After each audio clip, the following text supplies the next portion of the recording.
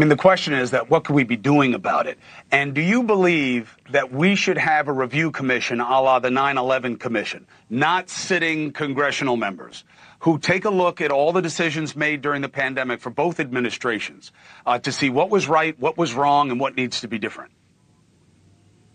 You know, Chris, I think it would be useful. And the reason I say that is there's been so much credibility lost uh, in the public uh, uh, science groups, NIH, FDA, CDC, um, because I think there was a, a, lack of really just transparency. One of the things I used to tell my colleagues uh, don't be afraid to say you don't know the answer.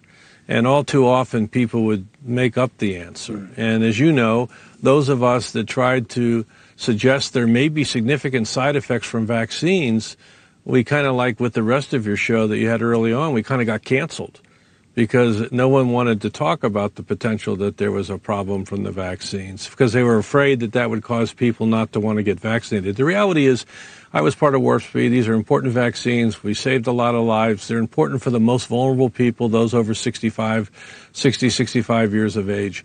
Uh, they really aren't that critical for those of, that are under 50 or younger.